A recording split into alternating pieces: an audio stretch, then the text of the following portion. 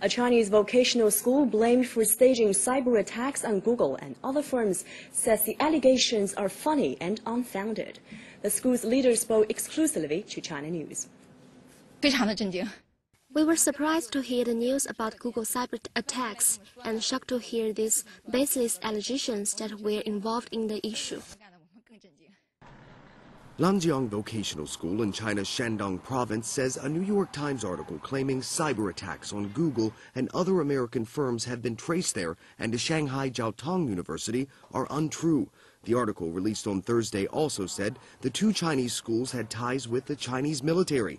Lanxiang leaders told China News that is not the case. We have no relationship or cooperation with any company. Our network is maintained and controlled by ourselves. Lanxiang told China News that some of its graduates have joined the military. Since 2006, the school says 38 students have been recruited by the military for talent in areas like auto repair, cooking, and electric welding. But the school says it is natural for some graduates to join the military. Lanxiang says it has no relationship and does not cooperate with the military, adding that school authorities do not have military backing. The report that we cooperate with the military is funny and is unfounded. The New York Times report citing unidentified investigators also said there is evidence suggesting a link between the attacks and a computer science class at Lanxiang taught by a Ukrainian professor.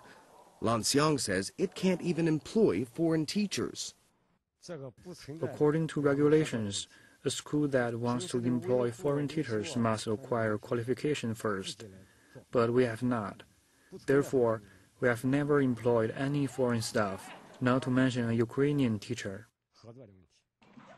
The school says its computer science class offers basic courses about Photoshop, 3D drawing, and Word, not software engineering, and insists there's no evidence to prove the allegations in the article.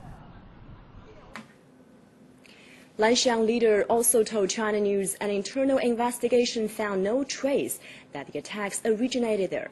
Lanxiang, founded in 1984, says its 20,000 students learn vocational skills such as cooking, auto repair, and hairdressing.